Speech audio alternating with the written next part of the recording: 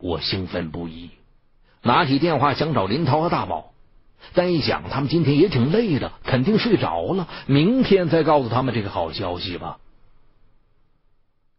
我兴奋的理由不是因为我的冤情就要得雪了。而是因为这一起压在所有专案组民警心头的大山，总算在这一次不经意翻阅档案的过程当中露出了曙光。因为疲惫，我不知不觉的躺在档案室连排椅上睡着了。一觉醒来，我拨通了大宝和林涛电话，分别和他们两人叙述了昨晚翻阅档案的发现。林涛难掩心中的兴奋，大宝则呆呆的问。啥意思？啊林涛和大宝已赶赴六三专案专案组，把这一发现及时上报给专案组，并且提出要求提取当初弃婴案的相关物证，及时送往省厅进行 DNA 检验。在送完物证后，林涛和大宝赶来档案室，和我一起翻起了档案。哎，即便掌握了嫌疑人 DNA，那又怎样？龙帆市一千万人口，怎么查呀？一般情况下，一个数千人的小镇子想用 DNA 做排查都不太可能，更何况一个省会城市啊！不可能利用 DNA 作为排查依据，DNA 只能是一个甄别依据，一个 DNA 检材检验成本一百多块呢。所以说呀，我们现在需要解决的是如何迅速找到这个嫌疑人的藏身之所，或者发现他常去的地方。呃，我倒觉得得先刻画犯罪分子特征才比较靠谱。听林涛这么说，我点头称赞。没错，至少这个人心理变态，心狠手辣，而且很可能被公安机关打击处理过，所以才挑衅警方。我看呐，是和你有私仇吧，才会佯装法医手法，然后弄了你的 DNA。不过你小子要是真没问题，他怎么弄到你的 DNA 的呢？我涨红了脸说：“我绝对行得正，坐得直，问心无愧。”呃，我和韩法医曾经争论过，凶手是男人还是女人？呃，现在我倒很认同凶手是个女人。哦，大宝，你说说看，有什么依据吗？韩法医之前说的有道理，凶手有分尸的动作，但是砍击力度不大，不像是男性所为。加之每起案件都是先投毒再杀人，这种手法很像是女性的手法。你说的不还是那些依据吗？你开始不认可韩法医的行为，现在认可了。可是这两天呢，我想了很多，尤其是你曾经和我说过，看系列案件就要把每一起案件串联起来看。这个系列案件的一个重要关联就是前四起案件死者都是男性。我陷入沉思，林涛则说：“可是最后一起是女性，这就不能算是关联条件。”大宝接着说道：“你想想，一般什么人才能轻易骗得对方喝下有毒的酒或者水？要么是熟人，要么是色诱。”这四名死者相互之间没有任何关联。这几个月来，侦查员的主要侦查方向就是这几个人的社会关系有没有交叉。查到现在没查出来一点关联，说明他们之间没有互相熟悉的人，那么就排除了熟人作案的可能。最有可能就是色诱。我排了些桌子，哼，大宝平时晕乎乎的，但是他这个分析我非常认同。只是最后一个死者是女性，这个不太好解释啊。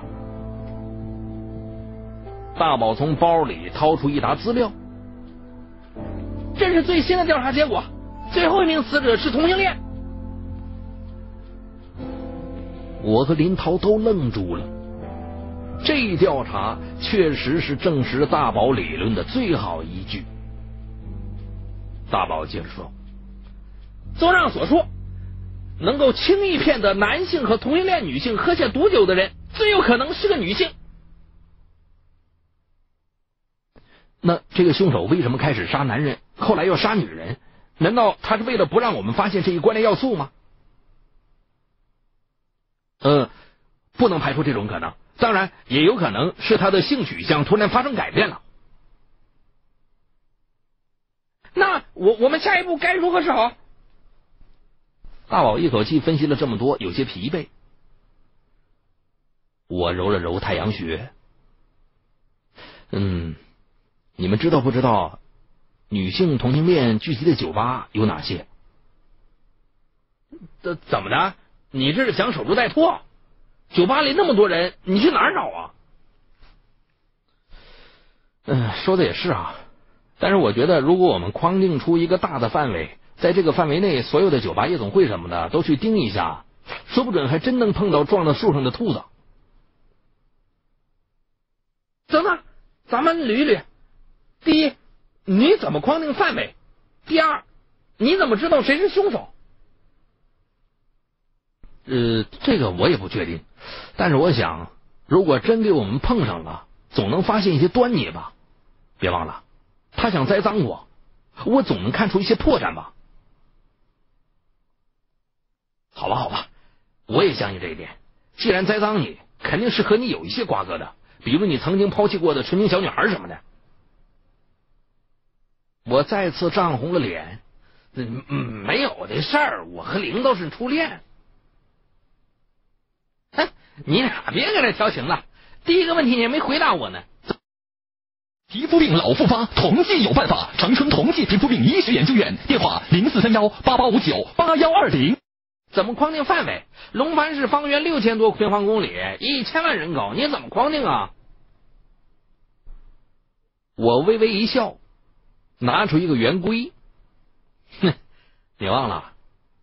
前不久我去学习了一个冷门学科——犯罪地图学。这个学科在国外很热门，但是在国内很多人认为是迷信。我准备来试一试，它到底管不管用？犯罪地图学，好像听你说过。有刑侦专家认为，系列犯罪的发生都是围绕着凶手主要活动地带来进行的，然后向外扩张。只要你能找出前几起案件的发生地点，然后框定范围的圆心，就是凶手主要的活动地带。这这个确实有点玄乎，可靠吗？哎呀，死马当活马医了。呃，你说前几起案件的案发地，那你准备用抛尸地点？我皱眉想了想，如果凶手有车，抛尸可能是随意性的，所以不准。那么就以几名死者最后出现的地点来作为发案地好了，看看他们的中心点是哪里。我们三人拿出一张龙帆地图，然后翻开几起案件调查资料，逐一进行标注。孟祥平是在这个医院失踪，在这儿。方将在这个宾馆失踪，在这里。程小良住学校附近，也是在学校遇害的，在这儿。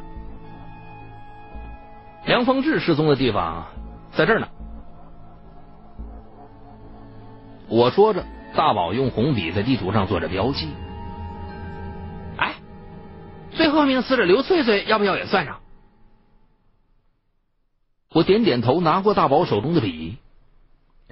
根据你们给我的资料啊，刘翠翠遇害的地点是在她的出租屋里，就是这个叫青年人小区的地方。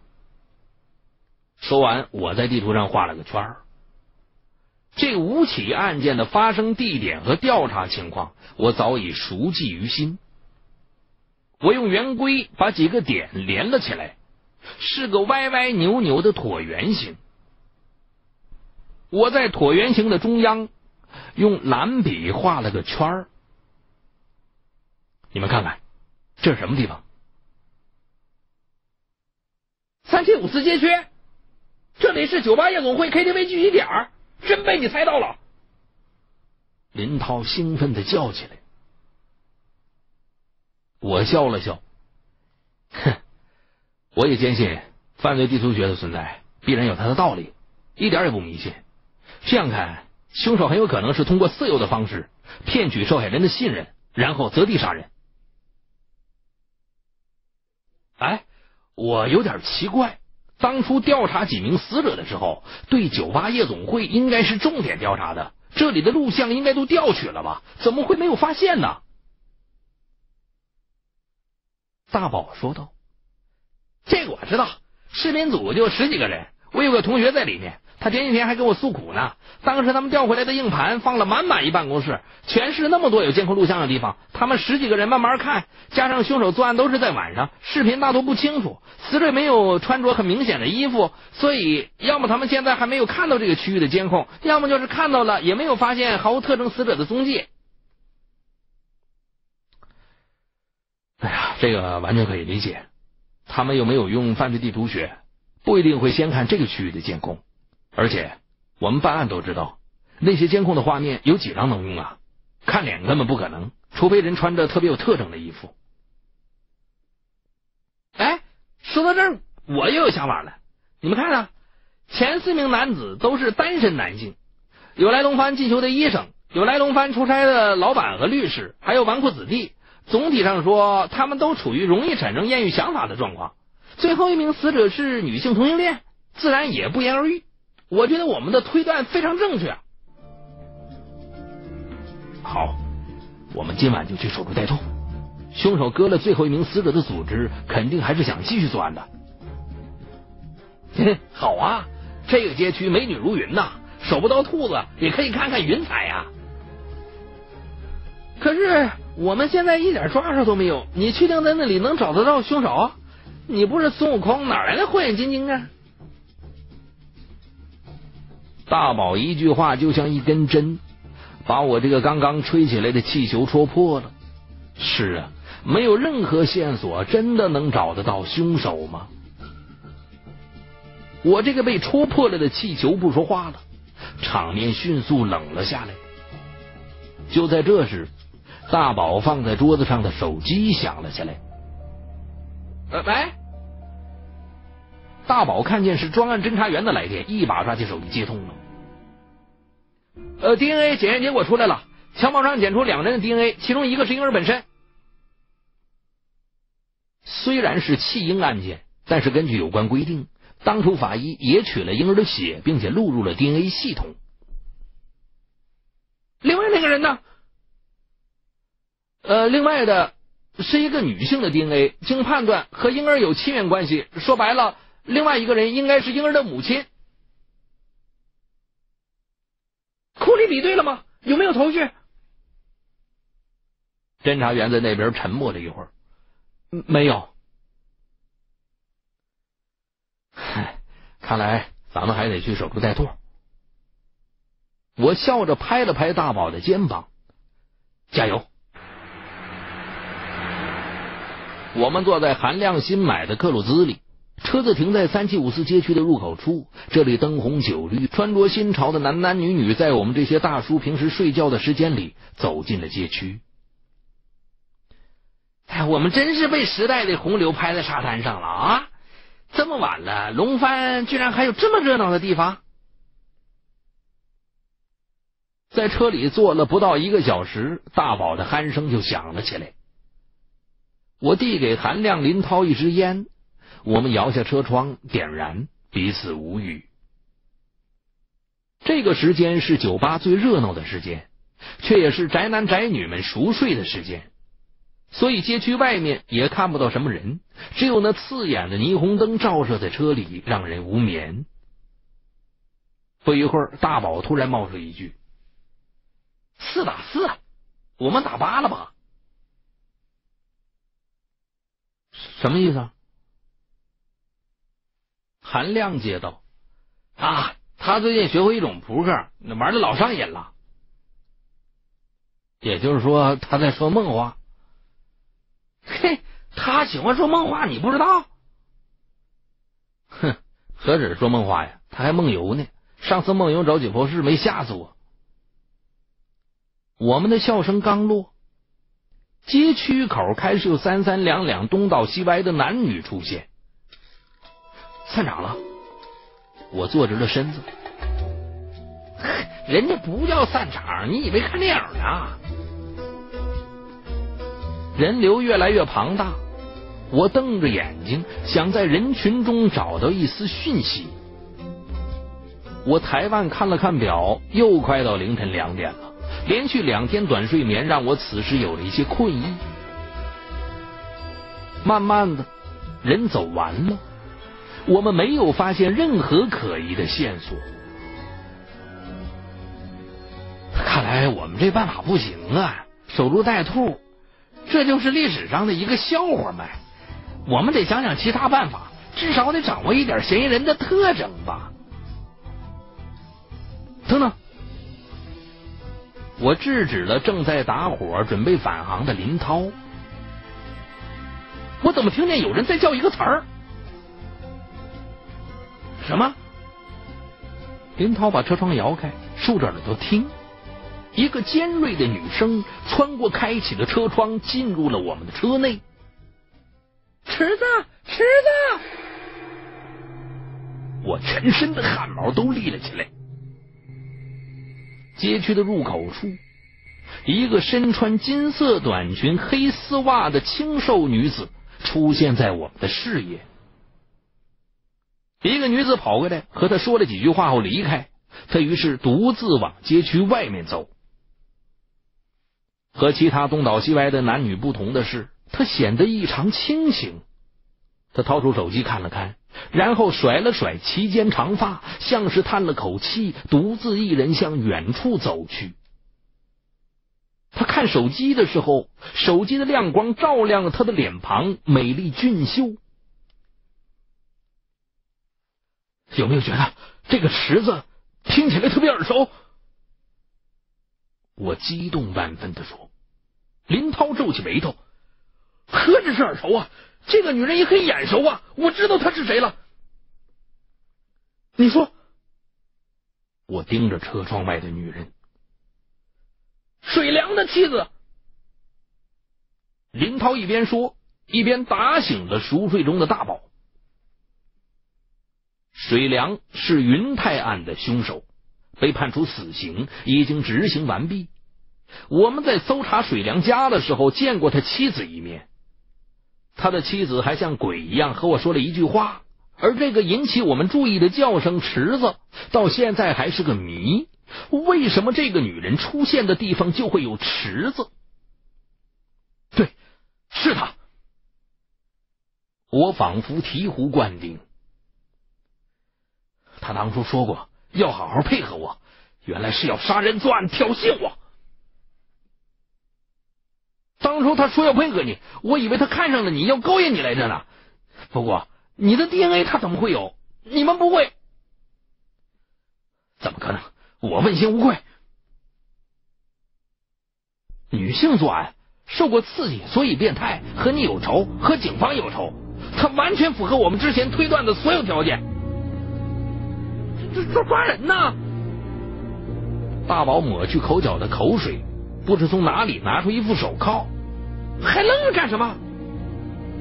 你看，你哪来的手铐啊？我我在干军队呀，队员都发单警装备的。大宝伸手就去开车门，我一把拉住大宝，没搞错吧？你是法医，你是验尸的，你能抓人吗？怎么着？学了两天战训队的科目，就以为自己侦查员了？这这都都是人民警察，关键时刻我们也得上啊！别急，如果是他干的，他绝对跑不了，相信我。呃，下一步我们需要密取他的 DNA 吗？不用，我们悄悄跟着他，看他住哪就够了。这个女人不简单，如果现在取他 DNA。一是不合证据提取程序，二是容易打草惊蛇，得不偿失。那你怎么知道七星襁褓的 DNA 是他呢？我有办法，走吧。女人住在街区附近的一个小院落里，从外面看，这个院子不大，但是是独门独户。我们目送女人走进院子后，便悄然离开。这一夜我睡得特别熟。第二天一早，我就来到了 DNA 实验室。我拉住忙得团团转的 DNA 实验室主任郑大姐。郑大姐，不管你现在有多忙，你得先帮我一个忙。郑大姐瞪着眼睛看着我。你，你不是被停职了吗？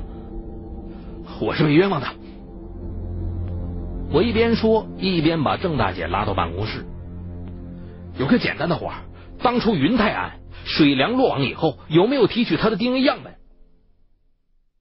当然呢，所有嫌疑人抓来第一件事就是提取样本呢。